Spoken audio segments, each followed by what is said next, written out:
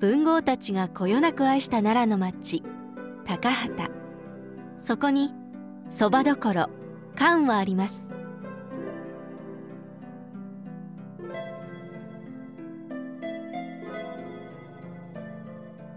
歴史を感じさせる店内には1300点もの小いまりが棚に並べられており圧巻の一言。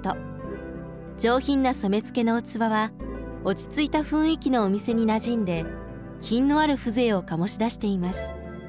よそには決してないお店の雰囲気づくりそして情熱を注ぎ一品ずつ丁寧に調理する姿からは細部にまでこだわる店主の情熱が伝わってきます。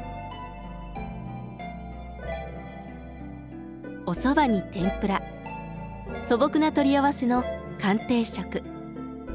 シンプルだからこそ表現できた目で見て楽しみ食べる喜びを教えてくれる温かい料理です。私の店は関と申します。奈良の高畑の閑静な場所にございます。どうぞ皆様お揃いでお越しくださいませ。お待ちしております。